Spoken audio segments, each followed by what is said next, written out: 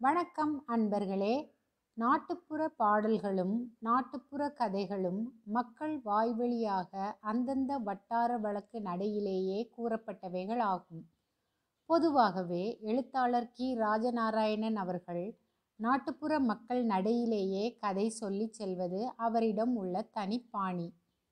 நாட்டுப்புற கதைகளை மக்களிடையே சென்று சேகரித்து கீரா அவர்கள் தொகுத்து வழங்கிய நாட்டுப்புற கதைகளை பகுதி பகுதியாக நாம் வாசிக்க கேட்கலாம். பகுதி ஒன்றில் மூன்று கதைகளை கேட்கலாம் வாங்க. கதை ஒன்று. ஒரு ஊரில் ஒரு அப்பனும் ஆத்தாளும் இருந்தாக அவங்களுக்கு மூணு பொட்ட பிள்ளைக. ஒரு நாள் ஆத்தா திடீர்னு செத்து போயிட்டா. அப்பங்காரன் தான் அந்த பொண்ணுகளை பொண்ணுங்கண்ணுமா வளர்த்து வந்தான். அந்த மூணு பொண்ணுகளில் மூணாவது பொண்ணு கெட்டிக்காரி அறிவாளி. பார்க்கவும் லட்சணமாக இருப்பா. பார்த்துட்டு வான்னா வெட்டிகிட்டே வந்துடுவா வீட்டில் அப்பனோ அக்காவோ யாரும் குத்தம் செஞ்சால் பயப்படாமல் எடுத்து சொல்லுவாள் அதனால் இவ பேரில் மூத்ததுக ரெண்டு பேர்த்துக்கும் அப்பனுக்குமே கடுப்பு. ஒரு நாள் அப்பங்காரன் வெறும் இனிப்பு பண்டமாக நிறைய வாங்கியாந்து பிள்ளைகள்கிட்ட கொடுத்தான். அப்போ கடைசி மவ சொல்லுவா எதுக்கையா இம்பிட்டு இனிப்பு போட்டு வாங்கியாந்தீரு? இனிப்பு தின்னு வவுறு ரொம்புமா? ஒரு உப்பு பண்டம் உரப்பு பண்டம் வாங்கியாந்தாலும் கொஞ்சம் போல் தின்னு தண்ணியை குடித்தா வவுறு ரொம்ப நாப்பில் இருக்கும். இனிப்பவே வாங்கியாந்து என்ன செய்யன்னு சொன்னான். அதுக்கு அந்த அப்பங்காரன் மூத்த பொண்ணுக ரெண்டு பேர்த்தையும் பார்த்து என்னாத்தா நான் ஆசைப்பட்டு உங்களுக்காக வாங்கியாந்தேன் இவ இம்புட்டு குத்தம் சொல்லுதாளே. இனிப்பு திங்காமல் இருக்க முடியுமா? உரப்புனாலும் திங்காமல் இருந்துடலாம் என்ன நான் சொல்லுதது? நானாம். அந்த மானைக்கு மூத்தவங்க ரெண்டு பேரும் அது நெசந்தாம். இவளுக்கு என்ன தெரியும்? உரப்ப மனுஷன் திம்பானா? இனிப்புத்தான் தேவை. இனிப்பு இல்லாமல் உசுறு வாழ முடியாதுன்னு ஒத்துப்பாடுனாக. அதுக்கு சின்ன மக இம்புட்டு சொல்லுதிகளே எங்கள் ஐயாவை இன்றைக்கும் நாளைக்கும் ரெண்டு நாள் பொழுதுக்கு இனிப்பேவே தின்னுக்கிட்டு இருக்க சொல்லுங்க பார்ப்போம் நான் அதான் ஜாக்குன்னு இவன் நம்ம ஐயாவை கொல்றதுக்கு பார்க்கான்னு மூத்ததுக ரெண்டும் சொல்ல அதானே? இவ என் புகைய பார்க்காம விடமாட்டா போலுக்க? இனி இவளை வச்சு பார்க்கப்படாது. பொட்டச்சியை கொன்னா பாவம். இவளை அடித்து வீட்டை விட்டே முடிக்கிடுவோம்னு விரட்டுனாக. அவ நான் எங்கிட்டு போவேன்னு அழுதா. இவளை இந்த மேனைக்கு விட்டா ஊருக்குள்ளார போய் நம்மளை கேவலப்படுத்திடுவா இவளை கூடையில் வச்சு கடலுக்குள்ளே விட்டுருவோம்னு பேசினாக. அவள் அழுதா அறத்துனா. ஒன்றுலையும் அவங்க மனசு இறங்கலை. நடு சாமத்தில் மூணு பேரும் சேர்ந்து அவளை இழுத்துட்டு போய் கூடையில் வச்சு கடலில் தள்ளிட்டாக. இவ அழுது அழுது அப்படியே மயங்கி சாஞ்சிட்டா. கூடை போய்கிட்டே இருந்துச்சு. விடியங்காட்டி நேரம். ஒரு கரையில் கூட ஒதுங்கிச்சு. அங்கே அந்த நேரத்தில் அந்த நாட்டோட ஊராளுத ராசா அப்படியே கொஞ்சம் உலாத்தலாம்னு வந்தார். பார்த்தா கடலுக்குள்ளேருந்து ஒரு கூடை வருது. கூடையில் ஒரு பொண்ணு வருது. கிட்ட வந்து பார்த்தா பாவம். அந்த பொண்ணு அப்படியே மயங்கி சாஞ்சாப்பில் கிடக்கு. அவளோ கொள்ளை அழகு.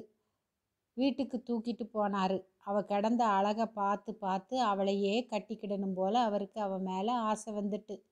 அப்படி மூக்கு முழியுமா ராசாத்தி போல் இருக்கா. வைத்தியரை கையோடு கூட்டிட்டு வந்து காட்டி வேண்டிய பண்டுகமெல்லாம் பார்த்து அவளை கண்ணு முழிக்க வச்சாக. கண்ணு முழிச்சதும் அவளுக்கு தன்னோட அம்மா நினப்பு வந்து அழுதா.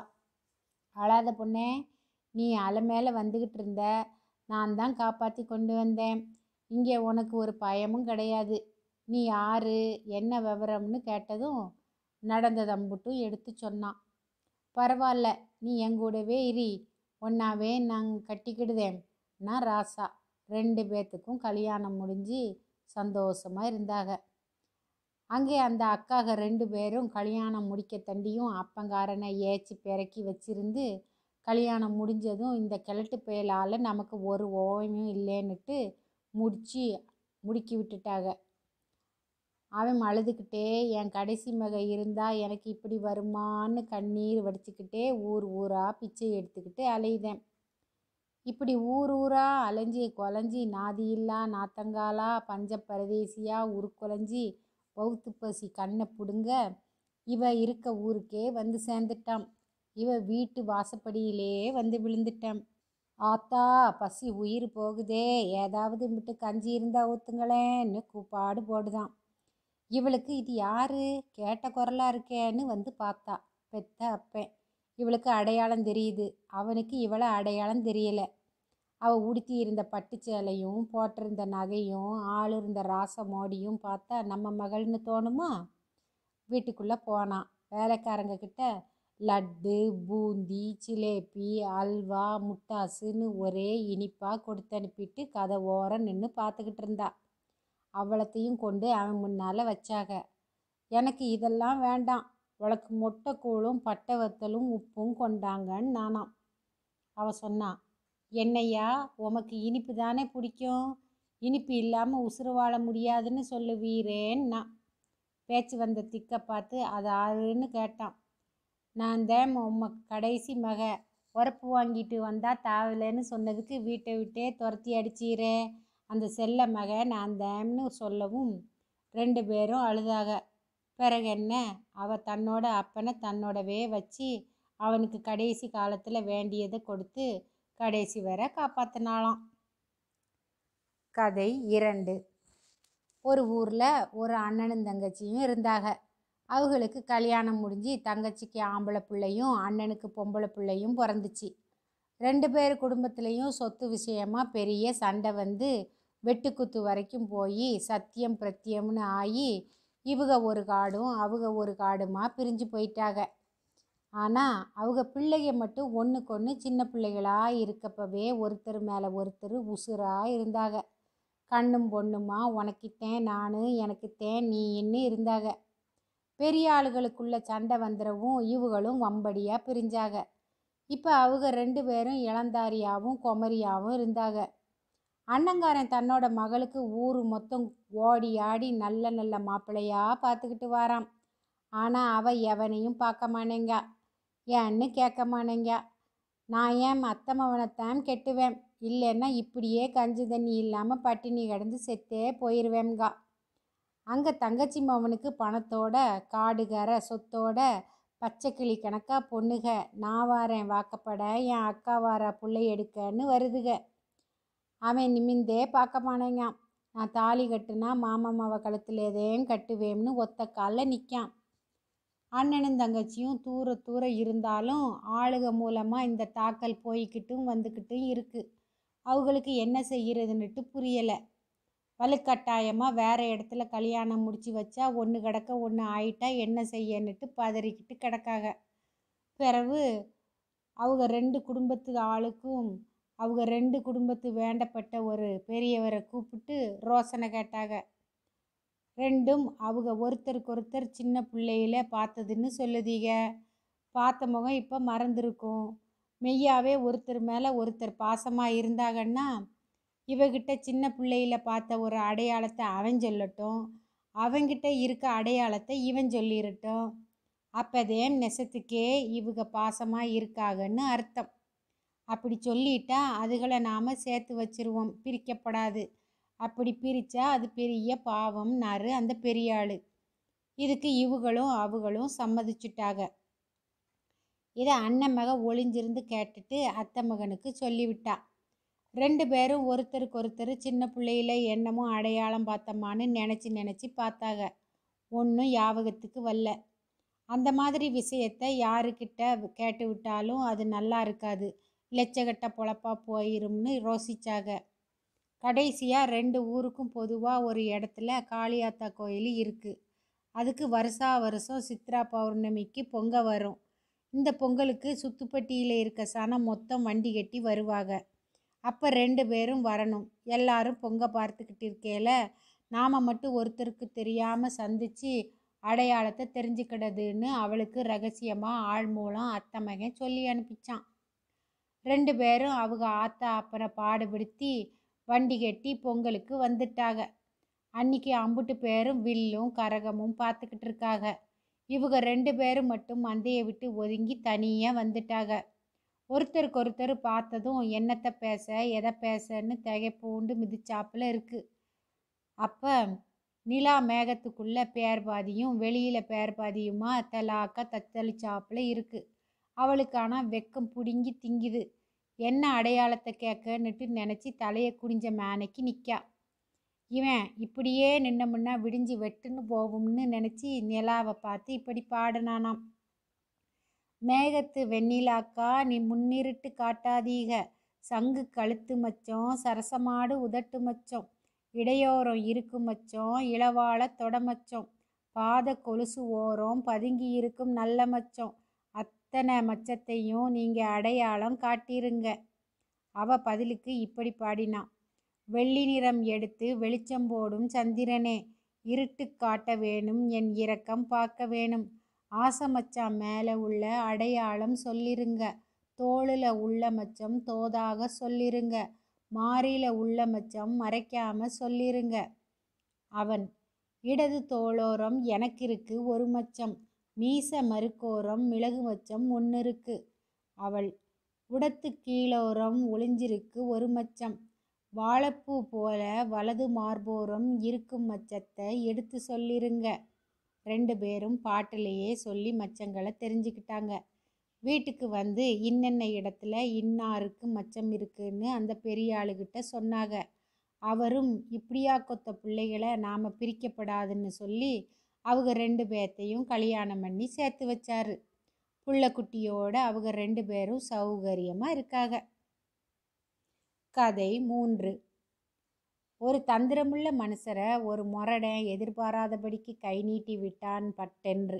யாருக்குமே என்ன நடந்தது என்று தெரியாத யூகிக்கவே முடியாத அந்த வினாடியில் அவர் சுகாதரித்து சொன்னார். ஹே அடிக்கவில்லை பார்க்குறான் அப்படி ஒரு நினப்பு இருக்கா உனக்கு? கையை ஓங்கிட்டா அடிச்சிடலாம்னு நினப்பா? என்று சொல்லிக்கொண்டே பின்வாங்கியதாகவும் அதுக்குள் அவரை நோக்கி முன்னேறிய முரடனை பக்கத்தில் இருந்தவர்கள் வந்து பிடித்து தடுத்து நிறுத்திவிட்டதாகவும் ஒரு கதையுண்டு. இந்த கதையை கலைவாணர் என்எஸ்கே கொஞ்சம் மாறுபடுத்தி நடித்து காட்டினார் குழுவினருடன். அடிப்பியோ மொப்ப மவனே சிங்கண்டா என்று. இந்த கதையை மட்டுமல்ல பல நாட்டுப்புற கதைகளை அவர் அழகுற நடித்து காட்டியிருக்கிறார் திரையில். இதேபோல நாட்டுப்புற பாடல்களும் நாட்டுப்புற இசை வர்ண மெட்டுக்களும் திரை இசைக்கு இப்பவும் வச்சாச்சமுத்திரமாக இருந்து வருகிறது. மேலே சொன்ன இப்படியான கதைகளை போன்று மேலும் ஒரு கதையை இப்போது பார்க்கலாம். ஒரு கிராம முன்சிப்பு பிள்ளையின் கொழுந்தியாளுக்கு கல்யாணம். கொழுந்தியாளின் ஊர் அஞ்சாறு கல் தொலைவு இருக்கும். கல்யாணத்துக்கு இன்னும் நாள் இருந்தது. என்றாலும் முன்சிப்பு வீட்டம்மா முன்னக்கூட்டியே போகணும். வரி வசூல் சமயமாக இருந்ததால் அவர் கூட போக முடியலை. வில்லு வண்டி போட்டு தலையாரியை கொண்டு போய் விட்டுட்டு வரும்படி சொல்லி ஏற்பாடு பண்ணினார். கிராம முன்சிப்பின் வீட்டம்மா வீட்டுக்கு போகிற முறுக்கில் நகைகள் எல்லாத்தையும் போட்டுக்கொண்டு புறப்பட்டா.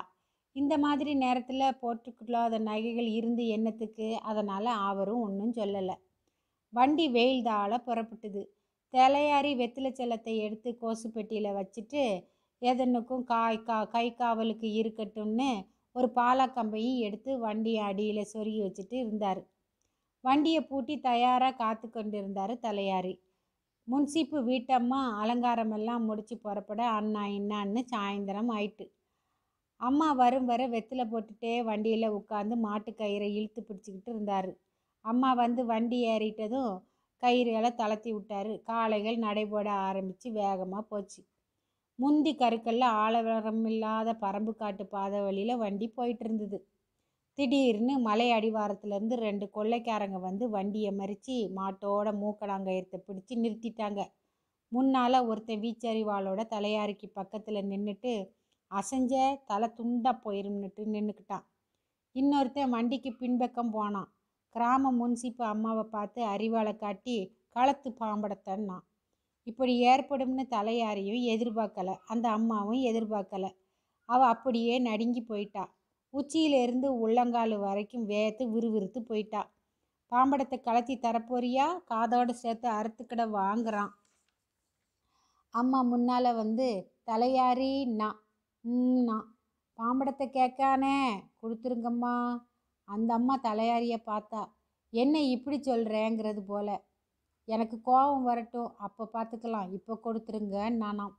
பாம்படத்தை கலத்தி கொடுத்துட்டா வாங்கிக்கிட்டான் தண்டட்டியும் கலத்துன்னா அவ தலையாரின்னா கொடுத்துருங்கம்மா. எனக்கு கோபம் வரும்போது பார்த்துக்கலாம்னா தண்டட்டியையும் கலத்து தந்துட்டா. காப்பு கொலுசு எல்லாத்தையும் கலத்துன்னா தலையாரின்னா கொடுத்துருங்கம்மா. கோபம் வரட்டும். பார்த்துக்கலாம்னா கொடுத்துட்டா. கடைசியாக அவளோட தாலியமும் கலத்தி கொடுன்னா தலையாரி என் தாலியும் கேட்கானேன்னு அழுதா. நான் என்ன செய்யட்டுமா? எனக்கு கோபம் வர மாட்டேங்கன்னா அவளோட கண்ணீருக்கும் கெஞ்சலுக்கும் வந்தவன் இறக்கப்படுறாப்புல தெரியல. முருகான்னு அழுதுகிட்டே கடைசியில் தாலியவும் கலத்தி கொடுத்துட்டா. ஒரு பொட்டு தங்கமோ வெள்ளியோ அவ உடம்புல இல்லை. எல்லாத்தையுமே வாங்கி அவன் மேல் துண்டில் பொட்டணமாக கட்டி எடுத்துக்கிட்டு முன்பக்கமாக வந்தான். வந்து ஏலே தலையாரி உனக்கு கோபமே வராதோ? கோவம் வந்தால் என்னலே செய்வேன்னு சொல்லி தலையாரியோட ஒரு பக்கத்து மீசையை பிடிச்சி ஒரு வெட்டு வெட்டுனான். தலையாரிக்கு கோபம் வந்துருச்சு. நெம தட்டுறதுக்குள்ளே வண்டியில் இருந்த பாலாக்கம்பை உருவி கீழே குதித்தான் சிலம்பு வித்தையை காட்டி ரெண்டு பயலுகளையும் மண்ணில் உருட்டுனான். திருட்டு பயலுவ பெரங்காலு பெடதியில் அடிக்கிறாப்புல பிடிச்சாங்க ஓட்டம் பொட்டணத்தை போட்டுட்டு. தலையாரி பொட்டணத்தை எடுத்துகிட்டு வந்து இந்தாங்கம்மா நகை எல்லாத்தையும் போட்டுக்கிடுங்க. எனக்கு கோபமே வராது. வந்துட்டது ஆம்பிட்டு தான் நானாம் பிறகு என்ன? நல்லபடியாக வண்டி கல்யாண வீடு போய் சேர்ந்தது. அன்பர்களே கதைகளையும் வழக்கு சொற்களையும் கேட்டு மகிழ்ந்திருப்பீர்கள் என்று நினைக்கிறேன். இதே போல வேறு பல கதைகளை கேட்க கதை கேட்கலாம் சேனலை சப்ஸ்கிரைப் பண்ணுங்கள் ஷேர் பண்ணுங்கள் பக்கத்தில் இருக்க பெல் பட்டனையும் அழுத்துங்க. உங்கள் கருத்துக்களை கமெண்ட்டில் சொல்லுங்கள் மீண்டும் ஒரு கதையுடன் உங்களை சந்திக்கிறேன். அதுவரை நம்முடன் இணைந்திருங்கள். கதை கேட்கலாம்.